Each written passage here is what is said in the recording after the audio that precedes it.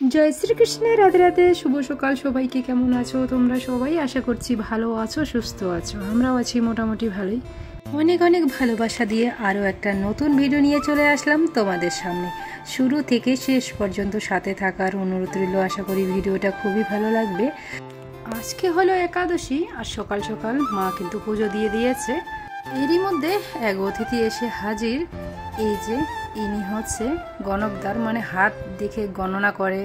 জ্যোতিষী বলছে নিজেকে, তো ওনাকে একটু প্রসাদ আর নয়ন সোনার হাত দিয়ে কিছু টাকা দিয়ে দিয়েছি, উনি চলে গেছে। তো অনেক কিছুই বলছে বাড়ির ব্যাপারে। যেহেতু সোনা আমার বাবুও বাড়িতে নেই তো দোকানে চলে গেছে সকালেই। তার জন্য বেশি আর কথা বাড়ালাম না। ওনার পিছনে থাকলে তো আমার এদিকে আর হবে না। সোনামা উঠে পড়েছে, সোনামাকে খাওয়াতে হবে। তাই ওনাকে আর কেউ হাতও দেখায়নি, আর কিছু জিজ্ঞাসাও করিনি আমরা, কারণ ওই সময় নেই। এদিকে নয়ন সোনাও উঠে পড়েছে, ওরও তো একটু পরপর খাওয়াতে হয়, বুঝতে পারছ? খুবই ছোট যেহেতু, আর এদিকে আমার সোনা পাখিরও খাবার দাবার সব কিছু জোগাড় করতে হয়। তো যাই হোক, সকালে আমি স্নানের আগে কাপড় চোপড়গুলো ধুয়ে দিয়েছিলাম। প্রচুর সময় লাগে দুই সোনার কাপড় চোপড় ধুতে, মেলতে। সকালে স্নানের আগেই কাপড় চোপড়গুলো ধুয়ে দিয়েছিলাম আমি আজকে। আর যেহেতু আজকে একাদশী, তো মা সকালে এই যে উঠান বাড়িঘর সব কিছু ঝাড় দিয়েই স্নান করে পুজো দিয়ে দিয়েছে। মা, আমার মা তো একাদশী পালন করে। তো মা পুজোও দিয়ে দিয়েছে ওদিকে। তারপর আমি এদিকে স্নানের আগে সমস্ত কাপড় চোপড় ধুয়ে দিয়েছি। রান্নাঘরে গিয়ে সবার জন্য চা, জল, খাবার, যে যেটা খায় সেটা জোগাড় করেছি, সোনামার জন্য খাবার জোগাড় করেছি। তো একটু বেলা হয়ে গেছে, এখন কাপড় চোপড়গুলো দিচ্ছি, যেহেতু এখন রোদ উঠে পড়েছে উঠানে। যেহেতু আমাদের বাড়িতে সারা বাড়িটাই গাছপালা ভর্তি, আর সামনের দিকে যখন সূর্যটা থাকে তখন কিন্তু অতটাও রোদ আসে না। একটু বেলা হলেই তখন রোদটা আসে।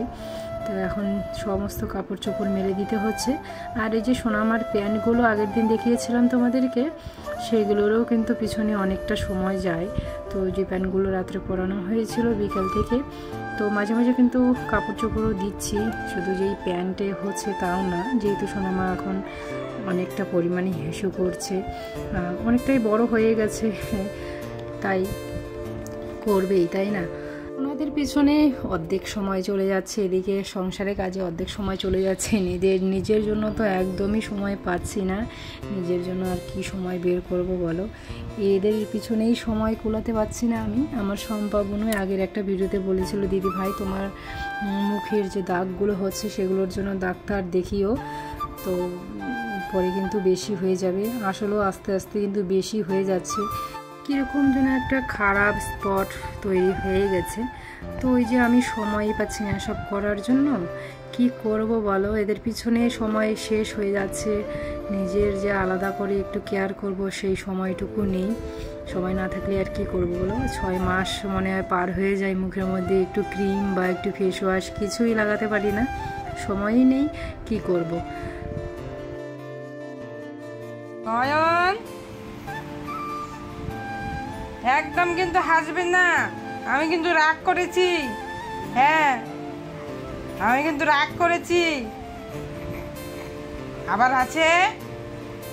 একদম কিন্তু হাসবেন না। আমি কিন্তু রেগে গেছি কিন্তু।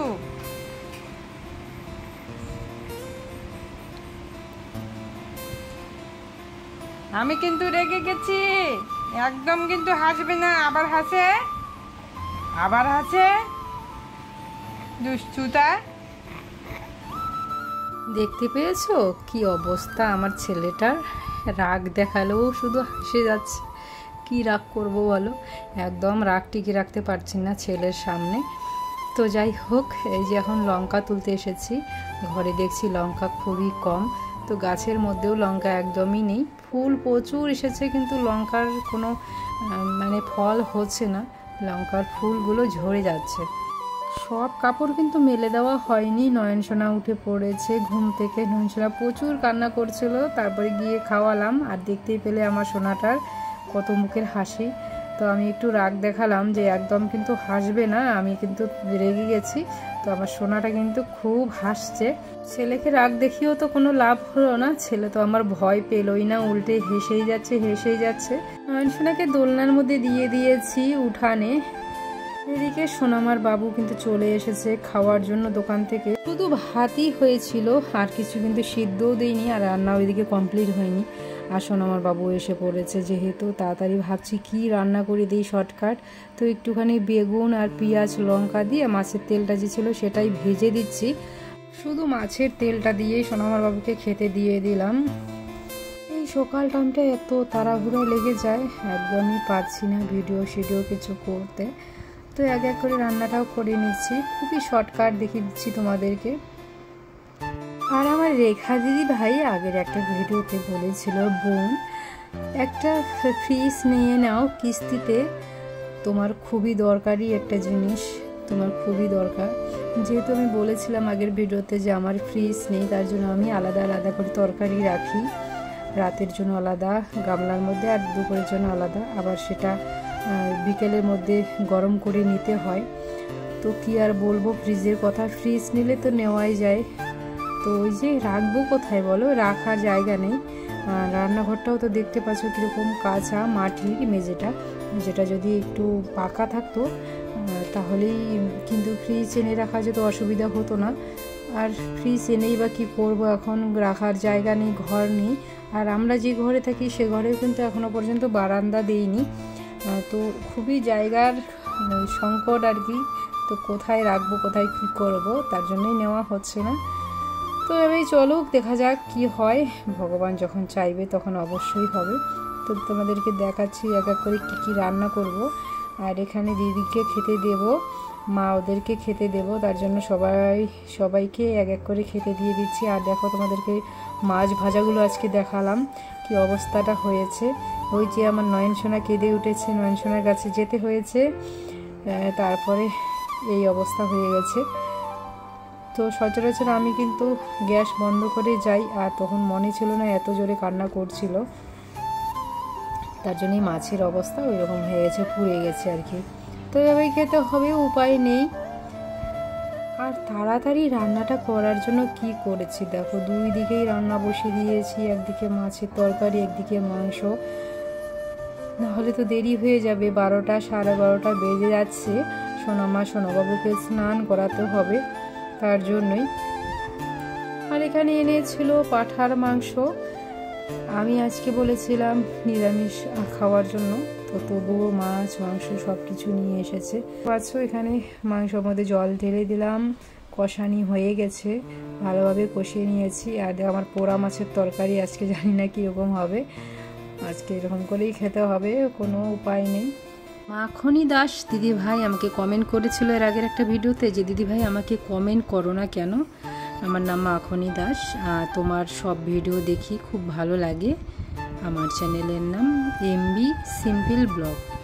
তো আমি সত্যি কথা বলতে সময় পাচ্ছি না, বুঝতেই পারছ দুই সোনাকে নিয়ে সংসার সামলিয়ে। নিজের ভিডিও ঠিকমতো দিতে পারছি না, এডিট করতে পারছি না, ভিডিওটা ঠিকমতো তৈরি করতে পারছি না, তার জন্যই। সময়ই নেই আমার কাছে, আমি কার কাছে যাব বলো? অনেকেই তো আসছো, নতুন নতুন ভিডিও দেখছ, তো ওই যে সময় পাচ্ছি না, এই জন্যই যেতে পারছি না। একটু তো বুঝবে।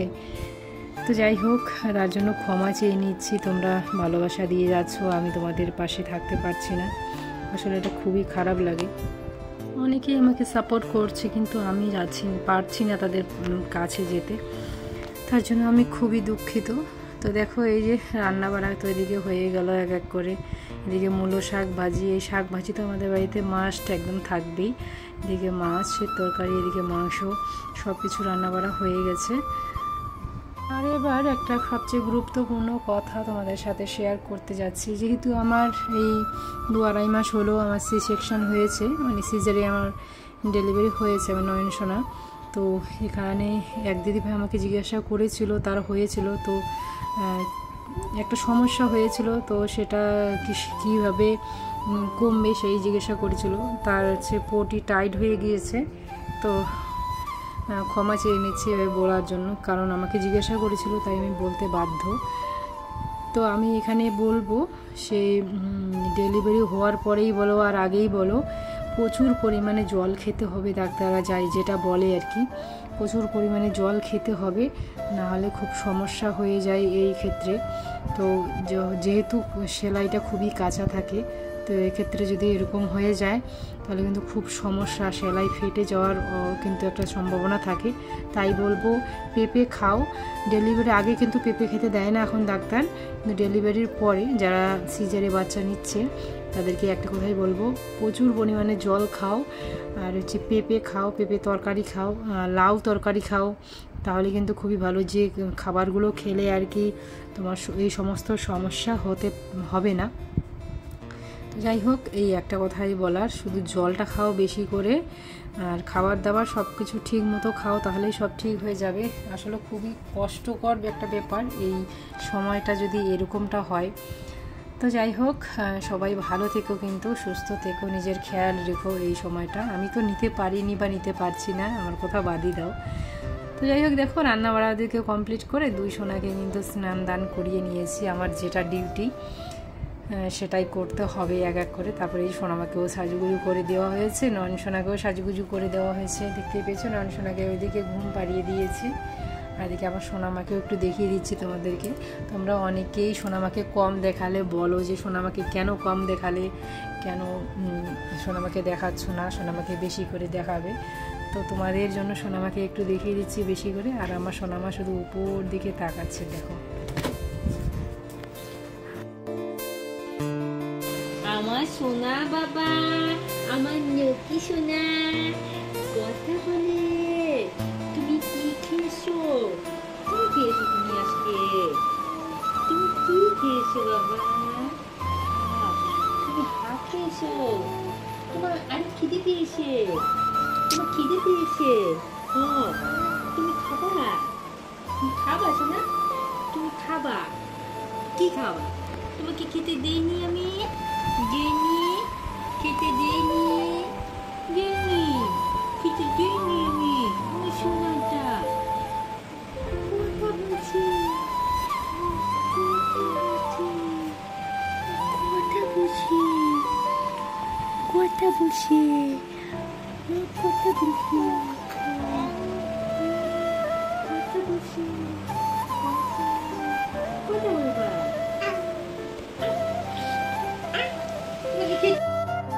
তো তোমরা দেখতেই পেলে আমার নয়ন সোনা কি সুন্দর কথা বলছে। বুড়ো মানুষের মতো শুধু কথা বলতে থেকে শুধু ওর সামনে একটু জোরে জোরে একটু কথা বললেই হলো, একটু আদর করে করে কথা বললেই হলো। এখনই খুব ইশারা করে কথা বলতে চায় হাসে। তো যাই হোক, ভিডিওটা কিন্তু এখন শেষ পর্যায়ে। বেশি ভিডিওটা বড় করছি না। আজকের ভিডিওটা এখানে শেষ করছি। দেখা হবে পরের কোনো ভিডিওতে। ততক্ষণে তোমরা সবাই ভালো থেকো সুস্থ থেকো সাবধানে থেকো। হরে কৃষ্ণ হরি বল।